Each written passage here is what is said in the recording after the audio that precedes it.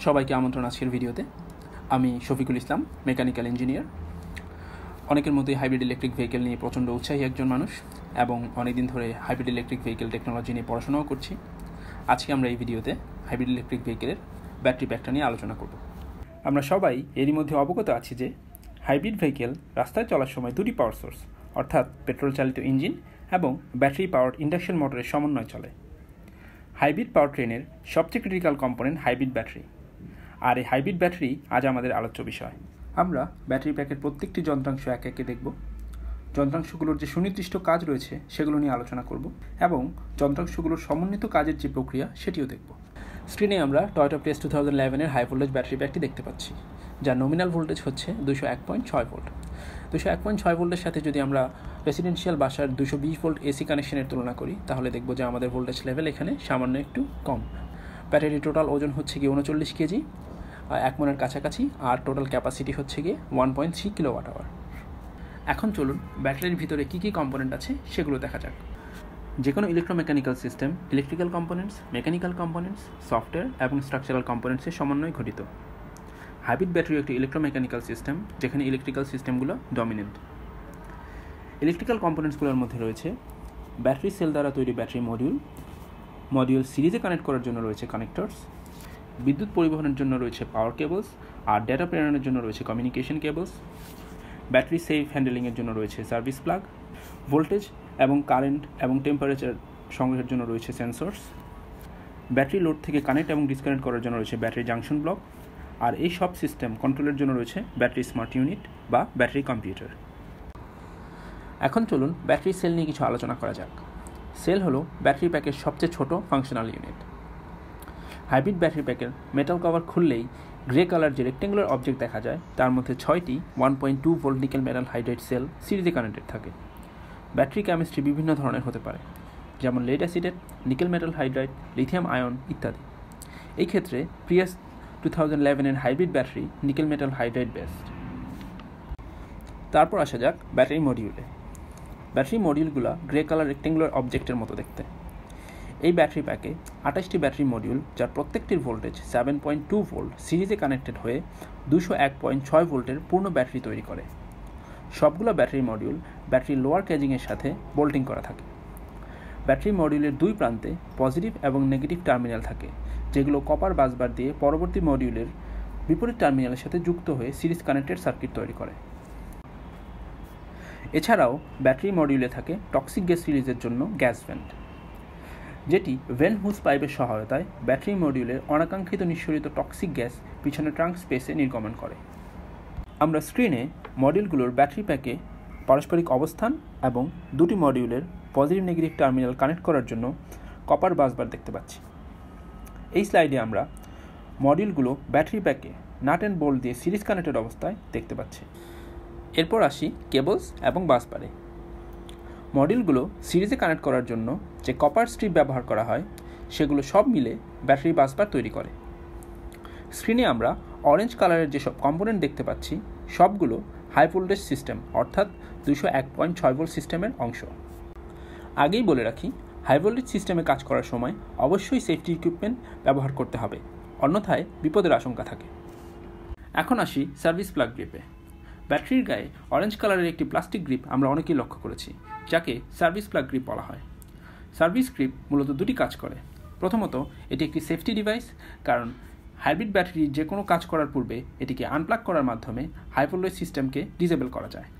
দ্বিতীয়ত এটি একটি প্রোটেকশন ইকুইপমেন্ট কারণ মূলত এটি একটি হাই কারেন্ট ফিউজ যা কিনা যে কোনো অ্যাবনর্মাল অপারেশনাল কন্ডিশন যেমন শর্ট সার্কিট কন্ডিশনে ব্যাটারিকে সুরক্ষিত রাখে। এরপর আসি সেন্সরসে হাইব্রিড ব্যাটারিতে তিন রকমের সেন্সরস থাকে। টেম্পারেচার সেন্সর ভোল্টেজ সেন্সর এবং কারেন্ট সেন্সর টেম্পারেচার সেন্সরগুলো ব্যাটারি মডিউলের টেম্পারেচার পরিমাপ করে ব্যাটারি কম্পিউটারে পাঠায়। যার উপর ভিত্তি করে ব্যাটারি কম্পিউটার ব্যাটারি কুলিং ফ্যানের অপারেশন নিয়ন্ত্রণ করে। এই ব্যাটারি প্যাকে মোট চোদ্দোটি ভোল্টেজ সেন্সর ব্যাটারি বাসবারের সাথে ইন্টিগ্রেটেড অবস্থায় থাকে এবং চোদ্দ পেয়ার ব্যাটারি মডিউলের ভোল্টেজ লেভেল সম্পর্কে ব্যাটারি কম্পিউটারকে অবগত রাখে। যার উপর ভিত্তি করে battery computer, battery state of charge modes of operation মানে ব্যাটারি চার্জ হবে কি ডিসচার্জ হবে, ইত্যাদি নিয়ন্ত্রণ করে। আর কারেন্ট সেন্সর ব্যাটারি প্যাক থেকে কারেন্টের আদান প্রদান সম্পর্কে ব্যাটারি কম্পিউটারকে অবগত করার মাধ্যমে ব্যাটারি কম্পিউটারকে সঠিক সিদ্ধান্ত নিতে সাহায্য করে। Battery junction block battery pack battery junction ব্লকের মাধ্যমে ষোলো ফিট লম্বা অরেঞ্জ কালার পাওয়ার কেবল দ্বারা লোডের সাথে সংযুক্ত থাকে। পজিটিভ কন্ট্রাক্টর প্রিচার্জ কন্ট্রাক্টর এবং নেগেটিভ কন্ট্রাক্টর ব্যাটারি কম্পিউটার দ্বারা নিয়ন্ত্রিত হয়ে ব্যাটারি প্যাককে হাইব্রিড সিনার্জি ড্রাইভের সাথে কানেক্ট এবং ডিসকানেক্ট করে। আমরা এখানে যে কন্ট্রাক্টরগুলো দেখছি, এগুলো আসলে ইলেকট্রিক্যাল রিলে আমরা যখন পাওয়ার বাটন দিয়ে গাড়ি অন অফ করি ব্যাটারি কম্পিউটার তখন এই রিলেগুলোকেই একটি নির্দিষ্ট সিকোয়েন্সে অন এবং অফ করার মাধ্যমে ব্যাটারি প্যাককে কানেক্ট এবং ডিসকানেক্ট করে। ইলেকট্রিক্যাল কম্পোনেন্টের শেষ এবং সবচেয়ে গুরুত্বপূর্ণ অংশ হল ব্যাটারি স্মার্ট ইউনিট বা ব্যাটারি কম্পিউটার। এটি একটি purpose built programmable electrical embedded system যা কিনা গাড়ির হোস্ট কম্পিউটারের সাথে যোগাযোগ করে সম্পূর্ণ ব্যাটারি প্যাকের সামগ্রী বিষয় পর্যবেক্ষণ এবং নিয়ন্ত্রণ করে। এই স্লাইডে আমরা ব্যাটারি ইলেকট্রিক্যাল কম্পোনেন্টগুলোর ব্যাটারি প্যাকে ফিজিক্যাল অবস্থান দেখতে পাচ্ছি। এখন চলুন মেকানিক্যাল যন্ত্রাংশগুলো দেখা যাক।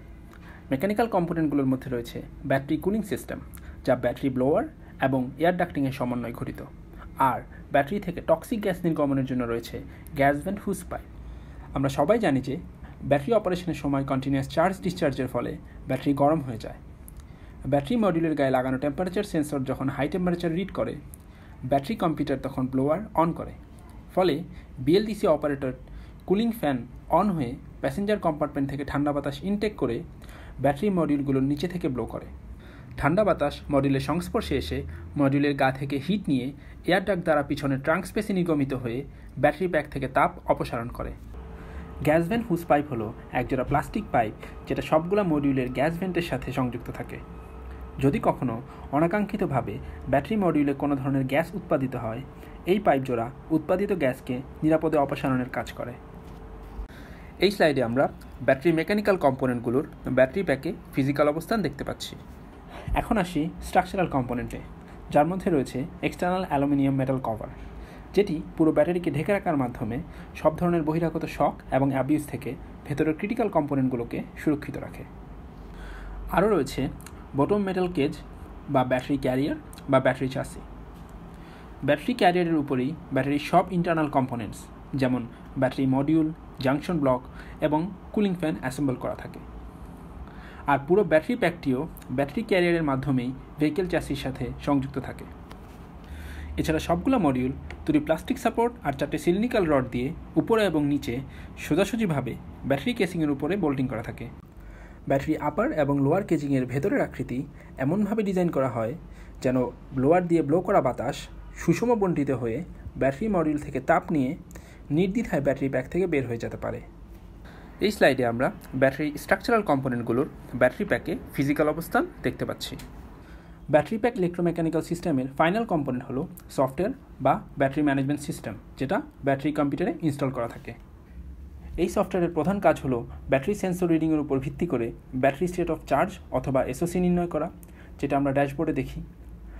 তারপর ব্যাটারি স্টেট অফ হেলথ নির্ণয় করা ব্যাটারি সেল ব্যালেন্স করা ব্যাটারি প্যাকের অপারেশনাল মোড অর্থাৎ চার্জ হবে বা ডিসচার্জ হবে নির্ধারণ করা আর ব্যাটারি থার্মাল ম্যানেজমেন্ট সিস্টেম পরিচালনা করা।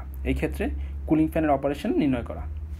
নেক্সট স্লাইডে আমরা ব্যাটারি স্টেট অফ চার্জ কীভাবে নির্ণয় করে সেরকম একটা কোড নিয়ে সামান্য আলোচনা করব। স্লাইডে আমরা এসওসি নির্ণয়ের জন্য একটি এক্সাম্পল ম্যাটল্যাব ফাংশন দেখতে পাচ্ছি। যেটি temperature sensor reading voltage reading current reading এবং মডেল ডেটার উপর ভিত্তি করে ব্যাটারি স্টেট অফ চার্জ নির্ণয় করে।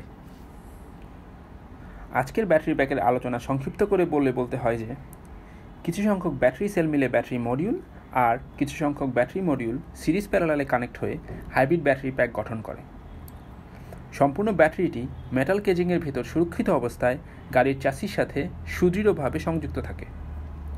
ব্যাটারির ভেতরে তাপমাত্রা সঠিক সহনীয় পর্যায়ে রাখতে রয়েছে ব্যাটারি থার্মাল ম্যানেজমেন্ট সিস্টেম আর ব্যাটারি প্যাক পর্যবেক্ষণ এবং পরিচালনার জন্য ব্যাটারি ম্যানেজমেন্ট সিস্টেম দ্বারা পরিচালিত রয়েছে ব্যাটারি স্মার্ট ইউনিট বা ব্যাটারি কম্পিউটার। এই ছিল সংক্ষিপ্ত আকারে হাইব্রিড ব্যাটারি নিয়ে আমাদের আজকের আলোচনা। আশা করি সবার ভালোই লেগেছে। যদি কারও কোনো জিজ্ঞাসা অথবা মন্তব্য থাকে, কমেন্টে জানানোর জন্য অনুরোধ করে এখানেই শেষ করছি। ধন্যবাদ।